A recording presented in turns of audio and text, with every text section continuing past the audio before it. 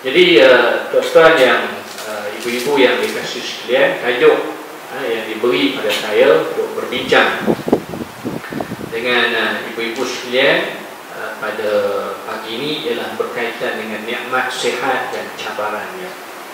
Ha? Jadi saya tak nak ambil masa yang panjang, kurang dalam sejam lah kot. Uh, kemudian kita buka sesi Q&A itu barangkali lebih menjurus apa persoalan atau permasalahan yang barangkali berlegar di kalangan ibu-ibu sekalian. Ibu-ibu sekalian, uh, saya nak mulakan dengan gambar ini. Uh, inilah realiti kehidupan kita. Memang bila kita bercakap soal sihat, semua orang nak sihat. Tak ada seorang yang minta untuk sakit. Dan bila cakap soal hidup, semua orang nak hidup ha, dengan umur yang panjang. Ha, tetapi realitinya kita kena ingat bahawa kita hidup di dunia ini bukan kerana kita nak hidup. Ha, bukan atas kemahuan kita nak hidup. Ha, tetapi kita kena ingat bahawa kehidupan kita di dunia ini adalah amanah daripada Allah Subhanahu Wa Taala. Ha, ketentuan daripada Allah Subhanahu wa. Apa yang berlaku kepada kita adalah semuanya ketentuan eh, daripada Allah Subhanahu wa taala. Wa qala qafu syai'in faqaddarahu taqdira. Kita kena ingat macam tu. Sebab itu kalau kita lihat eh, dalam gambar ini ibu sekalian secara idealnya hidup macam gambar yang pertama lah bermula daripada saat baby kan? Kemudian kita jadi kanak-kanak kita masuk ke alam persekolahan kan? Kita masuk alam universiti lepas tu bekerjaya kan? Lepas tu ha, kita ada kehidupan maksudnya kita ada keluarga kan? Kemudian kita sampai ha, sampai ke usia yang tua barulah ha, kita menemui kematian. Tapi tidak semua orang yang akan melalui fase ini ha, tidak semua orang akan sempurna kesempurna ini. Ada setengah orang dia tak sampai usia tua. Kan? Ha, dia duduk seronok mengejar kejaya, karier. Ha, Allah takdirkan ajalnya, kematiannya hingga ke saat itu sahaja. Tapi kepada kehidupannya. Ha? Bahkan ada juga di kalangan hanya sampai ke saat ha, alam pengajian universiti tanpa sempat menikmati ha, kejayaan untuk dibawa ke dunia karier kejaya. Ha, ada. Ada kawan saya tuan semia ha, buat PhD ha, submit uh, apa ni tesis tunggu masa ada siap tesis tunggu masa untuk baibah waktu tu menikah ha, kan? tak sempat baibah dia setengah orang dah pun tak sempat nak baik ni. Kan meninggal. Itulah namanya ajal. Takdir Allah. Fa idza jaa ajaluhum la yastakhiruna as-sa'a wa la yastaqdimun. Apabila tiba saat ajalnya ha, yang bagaimana telah ditentukan ataupun yang dijanjikan oleh Allah Subhanahu wa taala la yastakhiruna as-sa'a wa la yastaqdimun. Jangan kata nak minta untuk dilewatkan satu saat Nak minta diawalkan pun Allah tak izinkan. Ha, Kalau pukul sebelah ha, Janji kita Ketentuan Allah pukul sebelah ha, Kita tak akan mati Pukul 10.59 Lepas lagi nak dilewatkan sebelah satu minit. Sebelah lah ha, Yang telah ditentukan oleh Tuhan ha? Jadi begitu juga. Bahkan ada yang kadang-kadang tak sempat Kenal dunia kan? Ha, bahkan meninggal di alam rahim lagi. Ha, tetapi itulah hakikat kehidupan kita. Ha, jadi kita kena uh, uh, akuilah ha, dan kita terima. Dan uh, kehidupan kita kita kena ingat bahawa kehidupan kita ini bukan hanya semata-mata di dunia ini sahaja. Kebanyakan hari ini kita banyak menghabiskan masa kita memikirkan soal kehidupan kita di dunia nak mencari kemewahan, kesenangan ha, semata-mata untuk kehidupan di dunia ini sahaja. Tetapi hakikatnya kehidupan di dunia ini hanya sebahagian daripada fasa yang kecil, yang kecil dalam perjalanan kehidupan kita. Ha? Ha, yang bermula daripada alam roh, ha? kemudian kita berpindah ke alam rahim, kemudian kita berada di alam dunia ini. Ha? Sebenarnya kita sedang berada dalam fasa perpindahan kan? Dan kematian itu bukan pengakhiran kepada kehidupan kita ha? uh, Penamat kepada kehidupan kita Tidak ha? Kematian itu hanya suatu perpindahan kita ke alam yang lain ha? Daripada kita berada di alam dunia Bila kita meninggal Kita akan berpindah ke alam Alam barzah Alam kubur Sementara menunggu Alam mahsyar Ataupun alam kiamat dan itulah ha, kehidupan yang kekal abadi yang tidak ada penghujung lagi kepada kita. Sebab itu, tuan sekalian, apa jua tindakan ha, perancangan yang kita nak buat, jangan kita hanya fikir soal kehidupan kita di dunia sahaja.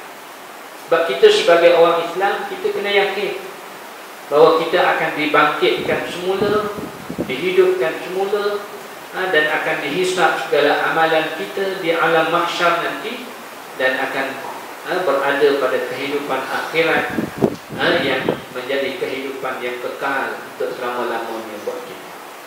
Sebab itu kalau kita berjaya dalam arti kata yang sebenarnya ialah kejayaan di dunia dan juga kejayaan di akhirat. Ha, ataupun kalau di dunia kita tak berapa berjaya ha, dari sudut Uh, kemewahan, kekayaan, harta. Tapi kalau kita berjaya dari sudut amalan kita, kita mendapat uh, kedudukan yang baik di sisi Allah di alam akhirat itu juga kejayaan, kejayaan yang sebenar. Tapi yang malangnya, ha? di dunia pun kita tak berapa nak berjaya dalam soal agama pun kita tak berapa peduli. Dalam soal ibadat pun kita tak berapa ambil kisah. Akhirnya kehidupan di akhirat tu kita gagal. Kan? Ataupun di dunia kita berjaya hebat. Kan? Kekayaan mewah segala-galanya apa yang kita tidak ada tapi dari sudut amalan kita kurang ada sudut agama kita tidak peduli akhirnya di akhirat kita akan rugi juga ha, kebahagiaan di dunia kita tidak akan kekal Berapa lama kalau kita kaya di dunia Kita boleh hidup berapa lama kan? Kita boleh hidup berapa lama Paling lama 100 tahun Lepas 100 tahun pun kita dah tak nak hidup kan? Tu Kita pun dah tak sanggup hidup dah Kalau lebih 100 tahun Saya ingat lagi ha? Tok saya Tok saya Tok saya ni umur dia panjang ha? 100 Dia mati tu Ikut Uh, catatan uh, kad pengenalan pengat kad pengenalan tu umur dia 90 lebih. Tapi saya yakin dia hidup 100 tahun lebih. Sebab dia tak ada surat beranak. Dia hidup zaman tak ada surat beranak. Ada kad pengenalan. Kad pengenalan pun orang datang buat. Dah umur dah tua dah buat kad pengenalan. Main akak dia umur berapa. Ha, kan zaman tu. Ha, dia pernah hidup zaman Jepun dulu lah kan cerita kalau pergi dia uh, rumah dia memang ada cerita benda-benda tu lah zaman Jepun makan ubi, makan dom ubi itulah lah cerita ha. Ha? dia tapi maksudnya tuan-tuan sekalian sampai satu peringkat dia sendiri pun sebut Allah dia kata bila lah aku nak mati dia kata kawan-kawan aku ni dah habis mati lah ha. ha. kita tengok dia pun kesian dia sihat Alhamdulillah tapi dia berdiri dengan betul bila sembahyang berdiri, berdiri dengan betul dengan rokok pun dah tak ada beza Ha. ha. Kita tengok dia rokok Rokoknya dia berdiri betul kan ha, kan? Bongkok ni tuan-tuan kan? Jadi maknanya Kita pun dah tak sanggup hidup Lebih daripada satu tahun Maknanya Kalau kita berjaya di dunia Ataupun kemewahan di dunia sekalipun Tak kekal lama kan? Sebab tu kita kena usaha Bagaimana untuk mendapat Kejayaan ha? Pada kehidupan yang kekal abadi Sebab itu tuan-tuan ibu sekalian uh, dan kita kena merasakan bahawa uh, kita hidup ini ha, Allah ha, yang izinkan kita. Ha, sebab itu saya boleh sebut perkara ini. Bila saya kuliah subuh, jadi pun saya kuliah subuh di surau ni. Dua kali lah datang surau ni hari ni. Ha, kan? Tak pernah lupa untuk mengingatkan baca doa. Ha, ini untuk mengingatkan bahawa kehidupan kita ini sentiasa di bawah ha, ketentuan Allah Subhanahu Taala. Allah sambung kontrak kita ni untuk hidup ni ha, tiap-tiap hari. Ha, bukan tiap-tiap tahun, tiap-tiap hari. Tiap-tiap hari. Sebab tu Allah ha, Nabi wasallam ajar kepada kita bila kita bangun daripada tidur doa ha, jangan, lupa untuk kita baca ha, alhamdulillahillazi ahyana ba'dama amatana wa ilayhi nusyur. Ha, segala puji bagi Allah yang menghidupkan kembali kami. Ahyana. Apa maknanya? Ha? Ba'dama amatana selepas mana kami dimatikan. Bila? Maknanya bila kita tidur malam hari, kita pejam mata kita. Ha? Benarnya Allah sudah pun mencabut roh-roh kita. Allah dah cabut roh-roh Allah dah pisahkan roh kita daripada jasad kita. Kan? Ha, bila kita boleh ha, buka mata kembali bangun waktu pagi maknanya Allah hantar kembali ruh kepada kita Allah masih bagi peluang kepada kita untuk teruskan kehidupan ha? maknanya kita kena bersyukur dengan nikmat yang Allah bagi kehidupan ini kita gunakan sebaik yang mungkin ha? untuk memperbanyakkan amal soleh kita kan untuk kita uh, bertaubat terhadap kesilapan-kesilapan kita yang lalu kan kita berlomba-lomba melakukan ha, amal kebaikan ha, untuk mempersiapkan bekalan kita sebanyak yang mungkin. Sebab kita tahu bahawa kehidupan kita ini ibarat satu perjalanan. Ha, bila-bila masa saja kita akan meninggalkan dunia. Sebab itu Imam Ghazali ha, ibu-ibu sekalian Imam Ghazali selalu ha, suruh kita tanya satu soalan bila kita bangun pada waktu kita bangun daripada tidur ha, Imam Ghazali suruh tanya satu soalan. Apa dia soalannya? Kenapa aku masih hidup? Hari ini. Dan malam tadi aku dah pun dimatikan oleh Allah. Ha? kita tanya kepada diri kita ataupun suruh orang lain tanya kepada diri kita. Kita ada pasangan hidup suruh pasangan hidup kita. Isteri kita, suami kita tanya kita kenapa? Ha? Ha, suruh apa ni uh, suami tanya kan kenapa hang masih hidup di hari ini? Ha. awak. Jangan tanya suami kan bahaya. Ha, kan? Awak kau nak kahwin lah ya? Nak suruh aku mati cepat kan? Tapi sebenarnya soalan yang macam tu Imam Ghazali kata apakah jawapan yang paling tepat yang harus kita jawab? Apa kita nak jawab? Kalau orang tanya kita kenapa engkau masih hidup ini? Kenapa aku masih hidup lagi pada hari ini? Adakah kerana kita nak kata, eh aku sihat, aku tak ada sakit apa-apa? Eh, ha, minggu lepas baru buat medical check up, clean. Ha, tak ada rekod. Eh, tidak bermakna kita tak sakit, kita tak mati. Tak bermakna orang sihat tak mati, tidak. Tidak bermakna orang sakit akan mati adalah kebiasaannya ha, orang yang sakit ini maknanya itu antara penyebab ha, yang uh, menyebabkan kematian tapi ada juga orang yang tak sakit apa-apa ya? Allah takdirkan ha, ajar berlaku kematian ha. adakah kita nak jawab mana kita sihat banyak ni ubat aku makan ni macam-macam suplemen aku makan sihatlah aku hidup tidak ha? Sebenarnya kata Imam Ghazali Jawapan yang paling tepat ha, Bila orang tanya kepada kita Kenapa kita masih hidup Ataupun kalau kita tanya diri kita Kenapa aku masih hidup pada hari ini? Ha, Ialah jawapan yang kata Imam Ghazali Kerana aku banyak dosa.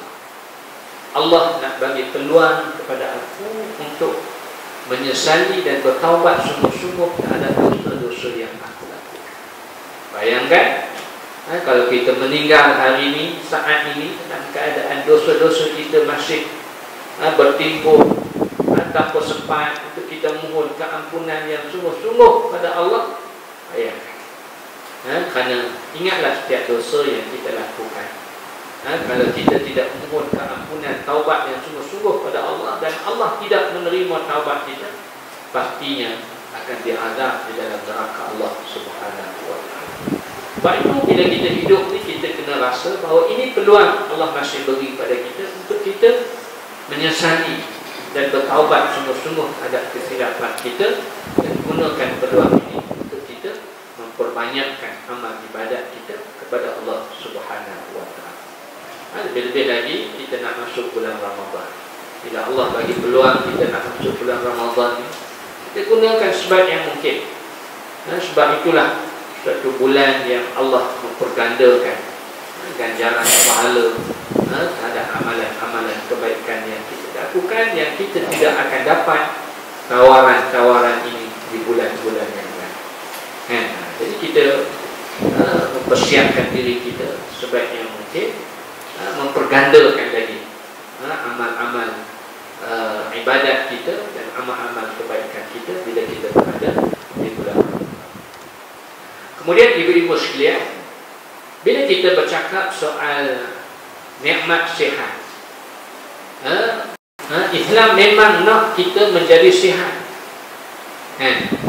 Sebab itu Nabi sallallahu alaihi wasallam menyebut al-mu'min qawiyyun khairun wa ahabbu ila Allah min min al-mu'min al-dha'if wa fi kulli khairin ihris ala man yanfa'uka wasta'in billah wa la ta'jib wa in asabaka shay'un fala taqul law anni fa'altu kana kada wa kada walakin qul qaddara Allah wa ma syaa fa'al fa in law taftahu amal asy-syaitan ini perlu kita dengar ha, dalam uh, hadis 40 Imam Nawawi Matan Arba'in pun ada hadis yang mana kata Nabi sallallahu alaihi wasallam orang mukmin yang kuat itu lebih baik di sisi Allah dan lebih dikas, dikasihi daripada orang mukmin yang lemah.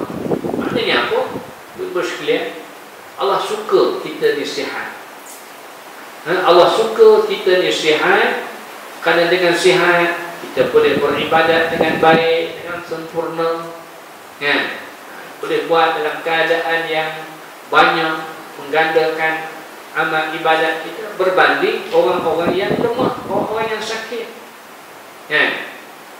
Maknanya ini lebih merujuk pada orang yang sakit yang mengambil ha, tidak mengambil peduli soal kesihatan dia, yang tak jaga kesihatan dia lah. Ha, tapi kalau dia jaga kesihatan pun Allah ha, bagi juga dia sakit kita kena anggap itu sebagai ujian takdir daripada Allah lah ha, tapi asalnya Allah suka kita berada dalam keadaan sihat jaga kesihatan kita kawal kesihatan kita. Tu Allah ingatkan dalam Al-Quran wala tulku aidikum ila tahlukah ha, jangan mencampakkan diri kamu berada dalam keadaan kebinasaan. Ha, kadang-kadang kita tahu banyak benda-benda yang boleh menyebabkan kemudaratan dan kebinasaan kepada diri kita. Ha, makanan bukan makanan bagus tapi bukan semua makanan yang mendatangkan kebaikan kepada kita. Dan hari ini banyak penyakit berpunca daripada makanan. Ha, sebab tu kita tak boleh main tangkap muat je makanan ni kan pantang lalu membujur lalu ha, melentang sapu je. Kita kena memilih makanan-makanan yang berkhasiat yang baik supaya ha, tidak mendatangkan mudarat kepada kita. Sebab ini juga merupakan tuntutan dalam agama. Ha, agama mewajibkan untuk kita menjaga kesihatan yang baik. Sebab itu makanan yang baik ini bukan takat makanan yang halal. Ha, Allah sebut dalam Al-Quran halalan tayyiban. Ha, makanan yang halal lagi baik. Baik ini maksudnya makanan yang berkhasiat ha, makanan yang tidak mendatangkan mudarat. Kan? Jangan makan manis sangat. Kalau kita tahu kita ni ada kencing manis, ha, kan? Jangan makan apa ni ha, yang berlemak sangat. Kan? Itu maknanya makanan yang baik. Pada Islam juga mengambil berat apa ke perkara-perkara yang begitu. Jadi asalnya Allah suka ha, kepada orang yang sehat, orang yang ha, kuat. Ha? ha. Dan uh, kata kata Nabi sallallahu alaihi wasallam ini sedangkan setiap seorang itu mempunyai kebaikannya. Ha, maka oleh itu hendaklah engkau bersungguh-sungguh berusaha untuk memperolehi apa yang memberi manfaat kepada engkau. Serta hendaklah meminta pertolongan kepada Allah dan janganlah engkau bersikap segan dan malas. Ha? Bahkan sekiranya engkau ditimpa sesuatu maka jangan engkau berkata kalau ini yang Nabi sallallahu alaihi wasallam larang kita ha, menyatakan kalau maknanya kalau kepada perbuatan yang sudah berlaku pada kita. Ha?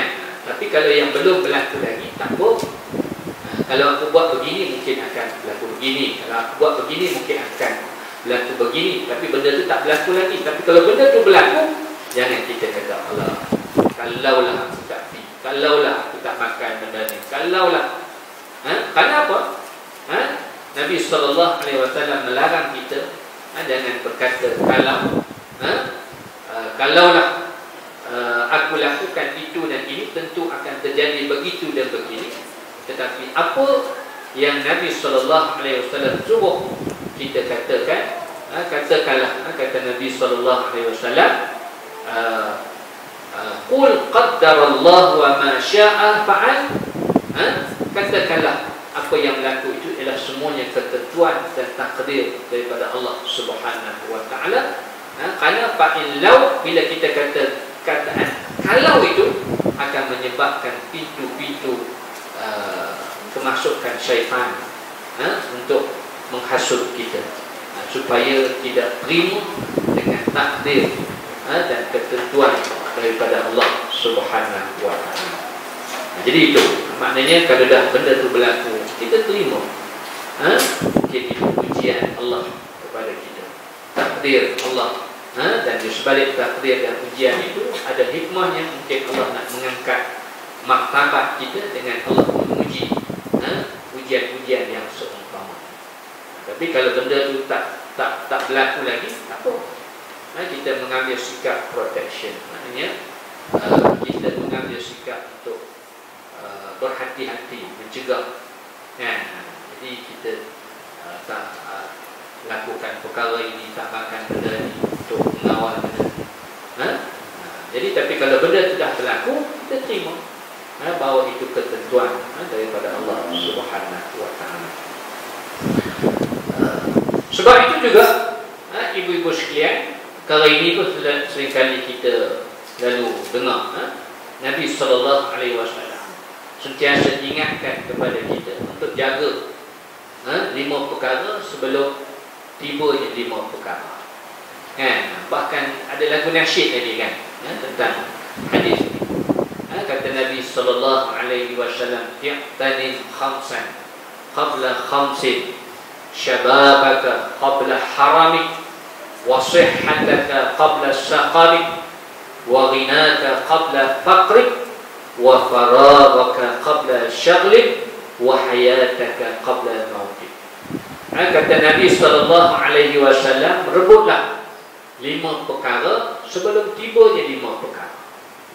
Apa dia? Syababaka qabla harami masa muda kamu belum tiba masa tua kamu.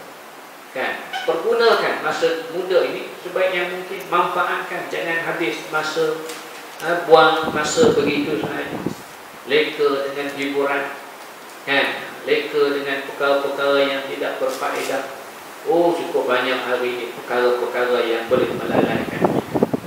Kan dulu kita bercakap ha, 5-6 tahun yang lalu kita bercakap soal hanya skrin. Skrin yang besar, TV di rumah kita berapa banyak mengambil masa mereka dan melalui kita hari ini kita dah tak berapa nak tengok skrin yang besar ha, kerana masing-masing dah ada skrin dalam poket masing-masing Allah itu cukup banyak ha, cukup banyak ha, kita boleh muhasabah Ha, tamanya orang muda. Hari ini free lah. Tak mana pun tak ada benda lain. Itu je ha? ha? di pejabat atas bar, dalam masjid, dalam surah. Kan? Kita tak nafikan banyak manfaatnya juga yang guna ke arah kebaikan. Ha, kadang catat, kuliah dan sebagainya. Guna teknologi itu. Tapi banyak, berapa ramai yang guna ke arah itu. Yang banyak kita dileka dengan itu. Ha, dengan apa nama itu. Ha, WhatsApp. Ha, kan? Dengan media sosial. Kan? Dan kan? Akhirnya masa itu berjalan. Ha, bila kita dah jadi tua, banyak benda ha, yang kita tak dapat dah. Kan? Dan dalam orang tua ni oh, kan? Macam-macam halangan sakit pula, sakit pula. Kan? Tapi waktu muda kita tak sedar. Sebab tu kata Nabi, manfaatkan masa muda, masa masih masih sihat, masih muda. Kan? Kemudian kata Nabi lagi, wasihhataka qabla saqam. Kan? Waktu sihat. Kan? Nah, ini ya. Nah, waktu sihat kan? Belum tibanya waktu sakit. Bila dah sakit tak ada kan? Jadi manfaat sebaik yang mungkin dalam keadaan kita masih sihat kan? Kan?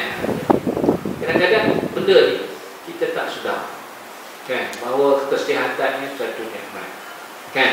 Sebab itu kata Nabi sallallahu alaihi wasallam nikmatani maqbuna ha ni'matani maghbunun fihima katsirun minan nas as-sihah wal farah dua nikmat yang seringkali dilupai oleh ha, ramai orang ha, ramai di kalangan manusia ini nikmat sihat dan nikmat masa lapang. Tak tak sedar bahawa ini satu nikmat yang cukup berharga ha, yang Allah kurniakan kepada kita. Kan sihat. Tak terasa sebab tak kena bayar. Kan? Tak ada pun tiap-tiap bulan sampai bil macam bil elektrik tu kan. Ha, tak ada. Kan? Sebab tu kita tak terasa nikmat sihat. Bila mana kita akan terasa nikmat sihat ni? Ha, ibu-ibu sekalian ni. Ha? ha? kata para ulama fahadhil khamsatu la ya'rifu qadraha illa ba'da zawaliha. Ha? Lima perkara yang kita sebut tadi. Ha, nikmat sihat, nikmat masa muda, nikmat masa lama kan? Ha? kita akan sedar bahawa ianya betul-betul nikmat bila mana ha, nikmat itu sudah hilang daripada kita. Waktu kita sakit ha, waktu itu bahawa kita terasa Allah untungnya orang sihat. Kan? Waktu kita dah tua Allah untungnya kan? Mayat pun tak payah duduk atas kerusi. Ha, kan? Pergi buat umrah buat haji pun taklah letih. Kan? Tapi waktu muda tak dapat keluar. Ha, kan? Itu lainlah ha? maknanya kita akan rasa benda tu suatu nikmat bila kita dah ha, hilang benda tu kan? Betul lah. Ha? apa yang disebut ha? oleh para ulama.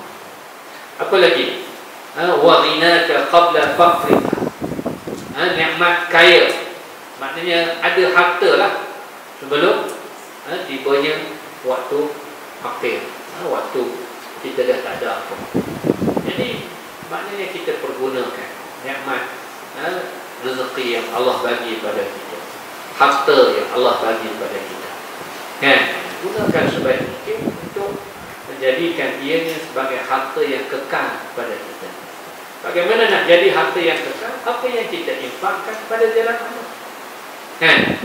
Apa yang kita duk simpan dalam bank? Apa yang kita duk simpan ha? dalam saham kita, rumah sewa ke harta ke apa yang kita beli properti dan sebagainya? Belum tentu akan menjadi harta kekal kita. Itu harta sementara, sementara kita hidup. Kan? Bila kita dah mati, dia akan bertukar menjadi harta si waris kita dan belum tentu waris-waris yang kita tinggal itu akan buat kebaikan pada kita. Kan? Ha, jadi maknanya kita gunakan peluang itu baik yang mungkin. Kan? Jangan kita berkira. Kan? Karena itu yang akan menjadi harta kekal pada kita. Ni apa yang kita masuk dalam tabung itu. Kan? Bak kata Nabi sallallahu alaihi wasallam, Ada satu hadis orang yang duk mengaku mali, mali, ini hartaku, hartaku. Kata Nabi sebenarnya harta kamu itu ialah apa yang kamu makan akan menjadi najis. Akan habislah. Kan? Yang najis bila dah masuk dalam perut kan habis ha, keluar balik dalam bentuk najis. Apa yang kamu pakai, yang kamu guna akan jadi lusuh. Apa yang akan kekal kata Nabi ialah apa yang kamu infak dan kamu belajar macam ni ha? Orang masyarakat di Aswabah Bangunkan surah Aswabah Dengan titik usaha Dana ha? Sumbangan mereka Walaupun mereka meninggal Surau ini akan terus kekal Dimanfaatkan Pahala akan berterusan Sampai kepada mereka Ya, inilah harta ha? Sebenar harta kekal kita yang Sebab itu pergunakan ha? Waktu kita miliki uh, ni harta yang Allah kurniakan begitu juga waktu sihat sebelum tibanya waktu sibuk. Betul? Kan? Ha, kita gunakan sebaik yang mungkin waktu sihat. Kan? Bila Allah ha, datang ataupun menyibukkan kita. Kan? Ada orang ada keinginan untuk ha, datang majlis ilmu dan sebagainya. Tapi Allah tidak beri waktu kelapangan pada dia. Tak ada masa sebab itu kita harus bersyukur. Allah bagi kelapangan masa kepada kita. Allah tidak sibukkan kita. Ha, Bahkan Allah sibukkan kita dengan ha, program-program keagamaan Program-program yang boleh apa ni memberi ilmu pada kita. Ada orang dia tak ada ruang itu. Kan? Bukan dia tak nak pergi Ustaz Tapi saya tak ada. Ujung minggu pun kerja. Kan? Ha, tak cukup dengan office hournya Sambung dengan overtime Kan? Tak cukup dengan overtime-nya sambung dengan part time-nya. Ha. Ini reality. Kan? Tengoklah hari ini. Ha? Lebih-lebih lagi yang duduk di di di di, di apa di bandar di kota raya ni kan nak nak survive kehidupan kan nak cari pendapatan yang lebih. Akhirnya ha, overtime dah part time. Akhirnya no time. Tak ada masa ni. Kan? Lepas waktu pejabat time Kan sampai tengah malam letih lah mana ada nak cari kuliah agama ke 12 tengah malam tak ada dah. Ha kan. Hujung minggu ha part time lah. Kan? Ha, buat ha, macam-macam hari ha, mati level dan sebagainya akhirnya tak ada masa. Ha, sebab tu kita bersyukur sangat Allah bagi kelapangan masa. Kita gunakan sebagainya. Dan akhir sekali wahayatan qabla mautin ha? kehidupan sebelum datangnya kematian. Ha? Kita manfaatkan sebaik sebaiknya. Jangan kita jadi golongan orang yang rugi. Ha? Bagaimana Allah Subhanahu Wa Taala sebut uh, dalam surah Al-Munafiqun. Ini golongan orang yang rugi. Ataupun golongan orang munafik. Ha, waktu dia peluang buat amal ibadat, dia buat tak kisah. Bila tak ada peluang, ha, dia baru waktu tu nak sibuk. Ha, kan? Waktu orang duk minta sumbangan nak buat surau, ha, dia buat tak kisah je. Bila surau dah siap semua, dia bawa tanya, ada lagi tak? Ha, ha, nak guna, nak pakai kan? Ha, ini sifat orang munafik. Nah, begitu juga Allah sebut perkara ini, orang yang akan menyesal. Orang yang bila dah berlaku kematian, akhirnya mereka minta pada Allah untuk kembali semula ke dunia untuk buat amal ibadat. Bila datangnya saat ajal yang ditentukan oleh Allah, mereka minta Allah tangguhkan. Kerana apa? Kerana nak buat kebaikan, nak buat ha? apa ni nak nak nak ha? apa ni buat amal ibadat dan amal soleh. Tapi waktu Allah bagi peluang, waktu sehat, waktu masa lapar, mereka tidak pergunakan sebaiknya. Wa anfiqu Allah sebut wa anfiqu mimma razaqnakum min qabli an ya'tiya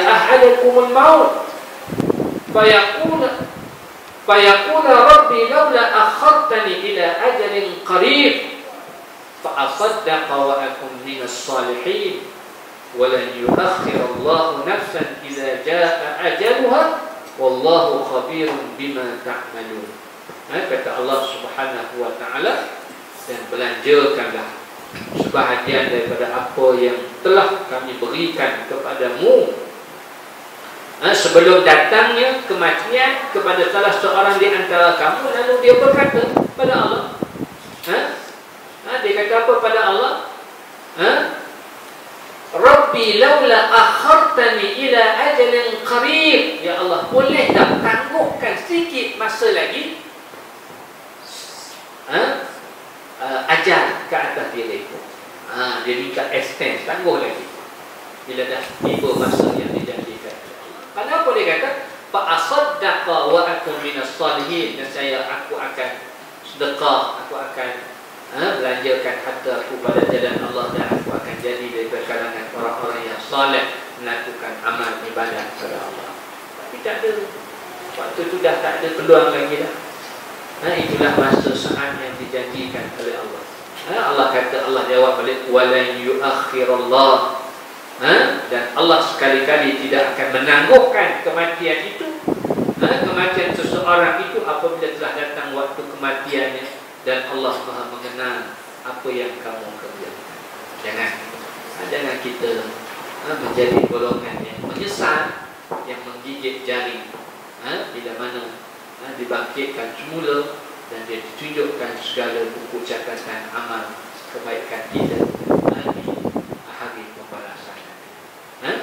Sebab itu ibu-ibu sekalian, kita kena merasakan bahawa uh, kehidupan kita di dunia adalah suatu ujian ha, daripada Allah Subhanahu wa taala. Ha? ha? sebab Allah sebut ha, dalam surah Al-Anbiya ha, ayat yang 35 kullu nafsin dha'iqatul maut wal khair fitnatan wa ilayna turja'un. Ha, tiap-tiap yang hidup ini pasti akan ha, mati ha, maka kami mengujikan kamu dengan kesusahan dan juga kesenangan sebagai cubaan dan kepada kamilah kamu semua akan dikembalikan. Sebab itu kita kena ingat apa jua yang berlaku dalam kehidupan kita sama ada baik ataupun buruk semuanya itu adalah ha walanabluwannakum ha ujian-ujian daripada Allah Subhanahu ha, dan kita kena tabah menghadapinya dan kita kena bersangka baik ada hikmah di sebalik apa yang Allah tentukan ke atas itu semua. Sebab itu ibu-ibu sekalian bila kita bercakap soal uh, uh, cabaran uh, ataupun hikmah bila Allah uji kita dengan sakit kan bila Allah uji kita dengan sakit satunya Allah memuji manusia sakit ini agar ha, kita lebih bersabar dalam menghadapi ujian yang berupa sakit dan penyakit itu. Allah nak kita nak lihat sejauh mana kesabaran kita. Kita kena anggap, kita kena ingat itu. Bila Allah uji kita sakit ha, dengan kesakitan ataupun dengan apa-apa musibah, ha, kita kena rasa bahawa itu Allah nak tengok sejauh mana kesabaran kita ha? Dan mungkin dengan kita lebih bersabar Allah nak mengangkat darjah Sebab itu Jika Allah Bagi kita sakit Kita kena juga kena anggap itu juga nikmat ha? Kerana dengan nikmat sakit adalah suatu cara Untuk Allah nak menguji kesabaran kita Bila Allah bagi kita sihat Itu juga nikmat dan kita kena anggap bahawa itu adalah satu cara Allah nak menguji bagaimana besarnya syukur kita terhadap nikmat sihat. Jadi semuanya nikmat. Jangan kita rasa kenapalah aku sakit, orang lain tak sakit. Kan? Jadi dua-duanya kita kena lihat dari sudut yang positif. Sakit maknanya itu cara untuk Allah nak menguji kesabaran kita. Sihat itu juga cara Allah nak menguji bagaimana besarnya kesyukuran kita terhadap Allah Subhanahu wa taala. Jadi semuanya ada hikmah ada sebalik apa yang Allah ha, jadikan ha, tentukan ke atas kita.